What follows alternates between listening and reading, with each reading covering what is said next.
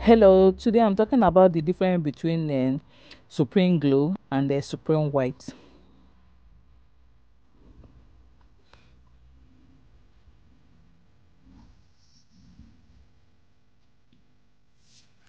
Hello welcome back to my channel. Today i'm talking about a supreme glow and supreme white the difference.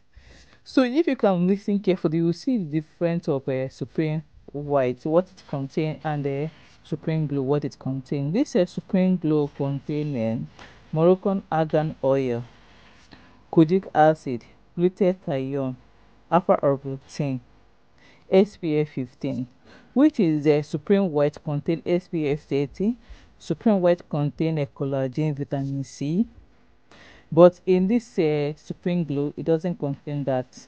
In supreme white it doesn't contain glutathione but this is a supreme it contains glutathione so that is a more different of a supreme glow and supreme white. And in supreme glow it contains a lot of whitening powders than this supreme white. This supreme white still contains a lot of whitening powders. But the type of whitening powder it contains is not something that can give you about two to three shades lightening this uh, supreme white can moisturize and clear your skin and prepare it for you to, if you want to start using a lightening cream or if you want to use a supreme white. So this uh, supreme glow can prepare your skin for that if you're a dark skin person.